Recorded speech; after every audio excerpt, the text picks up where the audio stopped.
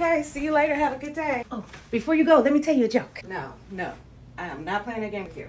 Come on, just one. I know you're not gonna get this one. You're just gonna get all upset with me like you always do. I won't, I promise. What do you got? What do you call a farm that grows bad jokes? Corny. Speaking of which, goodbye.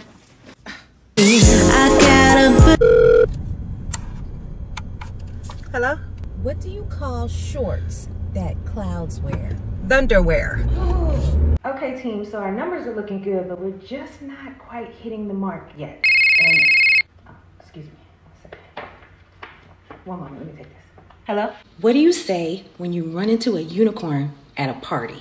Ouch. Hello?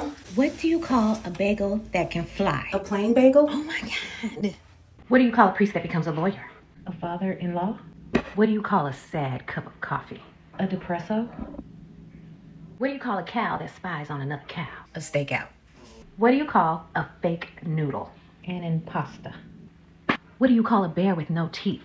A gummy bear? What do you call someone wearing a belt with a watch on it? A waist of time? Here's one for you. What do you call an argument between two power companies? Wait, wait. Really? No, no, no, no, no. I know this one.